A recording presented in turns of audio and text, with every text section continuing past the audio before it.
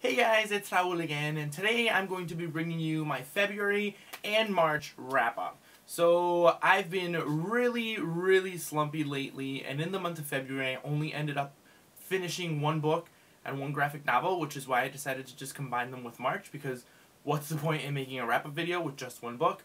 So, let's just go ahead and get started with this. So in the month of February, the only book that I ended up completing was The Night Circus by Erin Morgenstern. Now, kind of looking back at it, I'm kind of glad this was the only book that I read in February because this was an absolutely amazing book. For those of you guys who don't know what this book is about, it is about a circus that only shows up at night, pops up out of nowhere, and there are these two magicians named Marco and Celia who have this competition kind of going on within the circus. So the circus is kind of the venue that they use for this competition that's been going on for years. Other than that, I kind of don't really want to give more about the synopsis because that's all I knew going into this book and was absolutely amazed at everything that was going on after that. And I loved kind of discovering the story as I went. So I won't say any more about it just in case you guys haven't read it and want to read it and go in with that kind of experience that I did. Definitely definitely recommend it because like I said it was just a, a very fun very magical kind of story as everything kind of progressed and unfolded.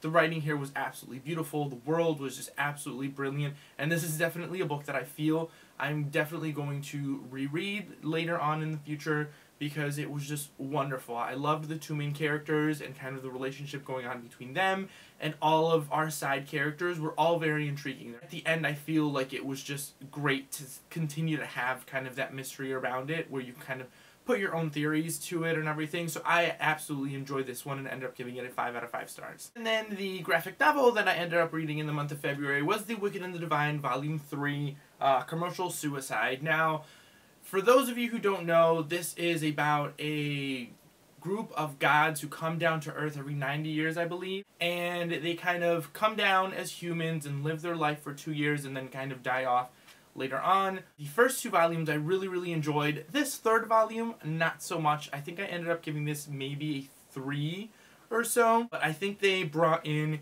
a guest artist and or every issue in this volume had a guest artist. So every single issue had kind of a different art style, which felt very, very inconsistent to me. Um, some of the art styles I did not like at all. This one, as like in volume 2, had a cliffhanger at the end, so that's kind of what's going to keep me intrigued on, on moving forward in this one. And I believe for Volume 4, the main artist is back.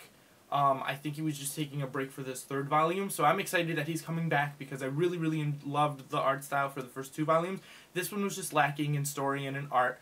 Like I said, I still kind of enjoyed it, but it wasn't my favorite. Like I said, I think I gave it a 3 maybe even a 2.5. Now, I did end up starting a couple of other books in February, but didn't finish, which I will kind of briefly mention right now. The first one was All the Light We Cannot See by Anthony Doerr. I got about halfway through this book and was really, really loving it, but I had a couple of other buddy reads scheduled um, within February and March, so I put this one down for a little bit, but I was absolutely loving it.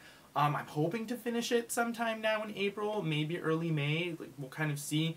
Um, but this is a historical fiction World War II kind of novel where it follows two different perspectives. One of the characters is blind and the other one is becoming a soldier and kind of their two perspectives on everything going on in World War II. It was absolutely beautifully written. I was really enjoying the story so far, so I'm really excited to hopefully finish this one very soon. And then the next book that I started but then ended up actually DNFing in the month of February was La Ciudad de las Bestias by Isabel Allende, City of Beasts. This one I was buddy reading with Betty from Betty Reads and Wardo from Bookish Wardo.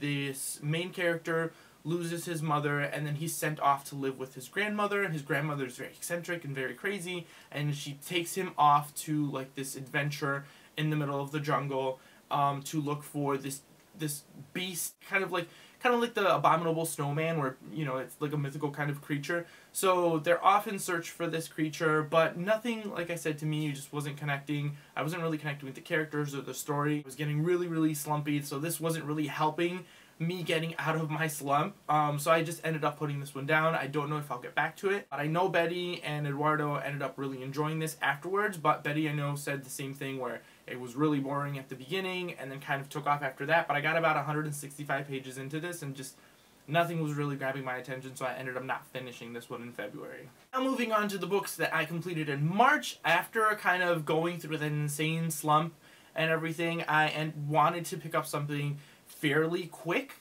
uh, to read and easy, so I ended up picking Dead Until Dark by Charlaine Harris. This is the first book in the Sookie Stackhouse series. For those of you who don't know, this is the book series that, it, that they based the uh, show True Blood off of.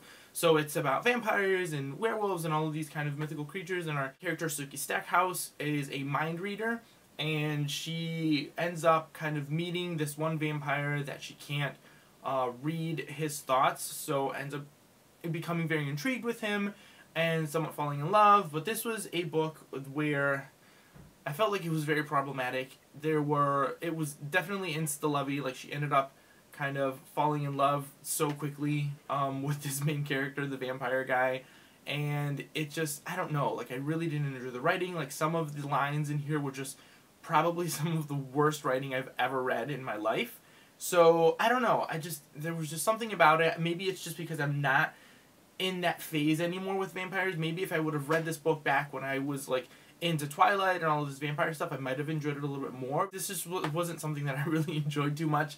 Um, the only thing that kind of really kept me intrigued with this book and kept me going was that there was somewhat of a murder mystery throughout it, and I'm a sucker for murder mystery, so anything with a murder mystery I'm going to want to read through the end to kind of find out who the killer is and what's going on, so that's the only thing that kind of kept me going with this, and the fact that I purchased the box set and I am now stuck with 10 books of this is something that was pushing me to get through it because now I have nine other books to read in this series.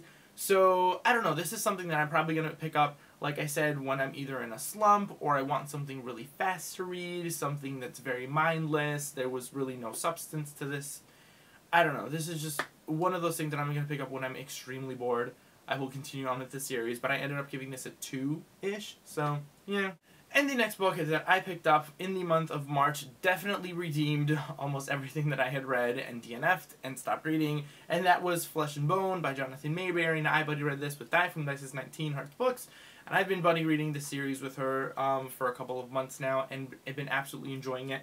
Now this is a zombie apocalypse type series where our two our main character Benny Imura is kind of forced to become a zombie hunter and follow in his brother's footsteps and kind of learn from him how to hunt zombies, but his brother kind of does it in a more humane way, I want to say. So this is a story following these kinds of things. In this third book, they encounter this death cult people, and it gets really scary and very intense because this death cult kind of wants to kill all of the humans because they feel like zombies are meant to overrun the world. I won't get into too much detail because I don't want to ruin the rest of the books. This is the third book in that series, but I absolutely love it as usual. It was very fun and fast paced, like I said. The only problem that I really had with this book was that one of our main characters got a little whiny and got into kind of that trope of not really expressing her emotions as well as she could have, and then just kind of ended up creating more drama, which is the only thing that I was really like I said, upset about, but I ended up still giving this a 4.5 out of 5 stars because everything else going on in this book was just absolutely awesome and fast paced. And I'm really excited to get to the last book in this series sometime in May. So I'm really excited. I've been really, really enjoying this series so far. And the next book that I read in the month of March was The Forbidden Wish by Jessica Khoury. Now, this is a book that I already returned to the library, which is why I don't have a physical copy with me. But it is a book that we read for the Random Read-Alongs group that is, is hosted by Sam from Thoughts on Tomes, uh, Sarah Jane from The Book Life, and Kristin from What's Happening. I will link all of their pages in the Goodreads group for the Random Read-Alongs down below. But I've been participating in Random Read-Alongs for a couple of months now and really, really been enjoying this kind of group read because it's very casual, very random. So for the month of March, they read The Forbidden Wish, which is an Aladdin retelling. So for those of you who like retellings and like Aladdin, I would definitely recommend this book because it's a book that I absolutely loved. This book is a little bit different from the story of Aladdin, um, where our main character is the genie in this book, and the genie is a female, and she kind of slowly begins to kind of fall for Aladdin. Um, which is really, really intriguing and really interesting, but it's not kind of the main plot point. There are so many other things going on and so many great characters that they meet, and you kind of notice that the plot will differ from that. Like, it's not focused only on her attraction to Aladdin, but there are so many other things going on. There's like a rescue mission going on, and kind of this new crowning of this new prince. It's just, it's so great and so awesome. I absolutely loved the world and the writing style. This is a standalone, so it was I felt for a standalone was really really well paced. I was scared kind of going in thinking that for a standalone they were going to kind of try and cram everything into this one book that's only about 350 pages, but the author did an amazing job at kind of pacing everything. The writing, like I said, was absolutely beautiful and kind of described its rich detailed world that was just absolutely amazing. I highly, highly recommend this book. I ended up giving this a 5 out of 5 stars. I just absolutely loved it.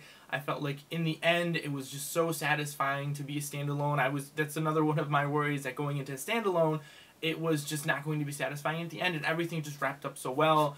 I loved the characters. Um, the only kind of complaint I had was that our villains were a little bland and Aladdin wasn't the greatest um, of characters, but he's not the main focus. I feel like there are so many other things going on that Aladdin kind of takes a little bit of a back burner in this book, which is nice because the other characters are so much more intriguing and so much better written.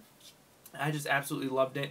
But with these faults of the characters not being the greatest, it still didn't take away from everything else that was going on because the story itself and the writing itself was just so amazing and so brilliantly written that it just it didn't take away from the fun factor for me.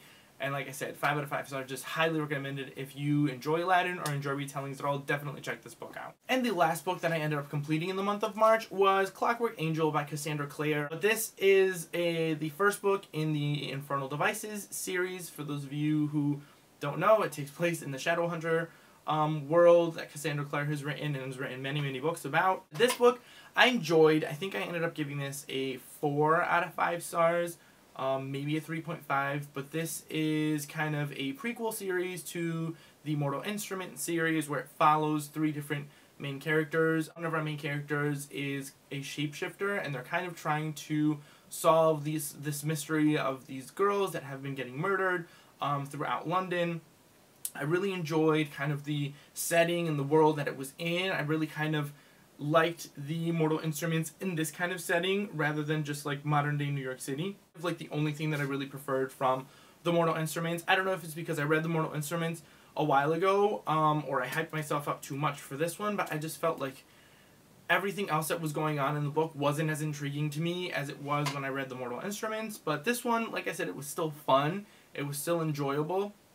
And I kind of still enjoyed everything that was going on with this book and everything. The writing, obviously, Cassandra Clare's writing is just very quick and very addictive and everything. So I still enjoyed this one. Just didn't love it as much as the Mortal Instruments, or at least the memory that I have of reading the Mortal Instruments. So yeah, I mean, I really, I don't know. I'll, I'll keep going with this series and see what happens with it. And then a book that I started in March but didn't end up completing, um, which I hopefully will complete soon, but we'll see, is Clockwork Angel by Cassandra Clare, the second book in the Infernal Devices series. Now this book, it's just kind of like from Clockwork Angel not being so great, this one kind of just kind of went downhill for me. It's just, I'm about halfway through, about 260 pages or so into this one, but nothing is really like grasping me. This definitely suffers from second book syndrome. I know I've read series before where a lot of people complain about second book syndrome, but I've never really seen it, but this is really, really really something that I can see in this book is this second book syndrome where it's just slower pace and really nothing's going on and everything's just kind of going around in circles and the plot's not really moving forward. So I'm kind of actually really bored with this book so far. Um, I'm really enjoying the characters and kind of the relationship going on between the characters, but other than that, just I'm just like not very intrigued um, with this book. I've had it all month. I took it out of the library and it's due in a couple of days. So I don't know if I'm going to end up finishing this in March. I may end up putting it down and just grabbing it from the library later on and kind of coming back to from where I left off. So we'll see what happens with this book if I'm actually able to finish it within the next three days. Because like I said, I have to return it. And just, I don't know, I'm just really bored with this one so far. So we'll see what happens because I've heard great things about Clockwork Princess and I want to get to that because I want to read Lady Midnight. So yeah, that might push me to finish this one, but we will see. So yeah, guys, that is everything that I read in the month of February and March, and all the things that I attempted to read in between, because, yeah, book slumps are real. So comment down below and let me know if you guys have read any of these, what you think. Um, if there are some of these books that I started and didn't finish that you guys highly, highly recommend me pushing through and getting done, definitely let me know that. What were your favorite books in March? And I will see you guys all next time.